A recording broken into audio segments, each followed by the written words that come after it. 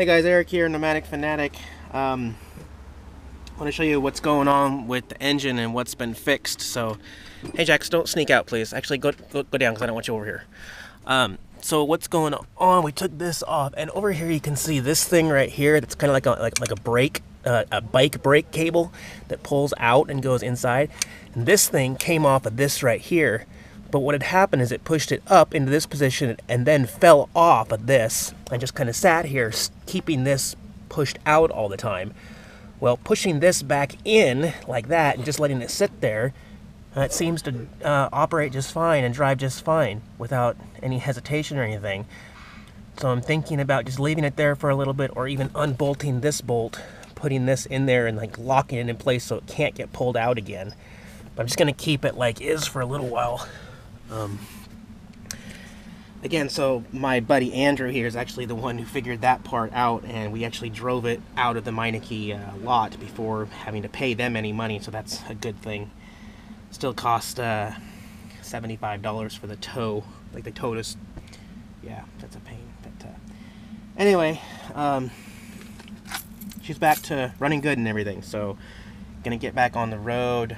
Um, and go fishing. All right, talk to you guys later.